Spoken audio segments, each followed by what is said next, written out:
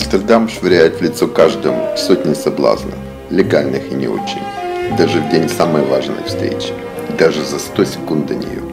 Но когда знаешь, что даже самая огромная любовь не прощает самого маленького предательства, я верю, что ты сумеешь сберечь себя.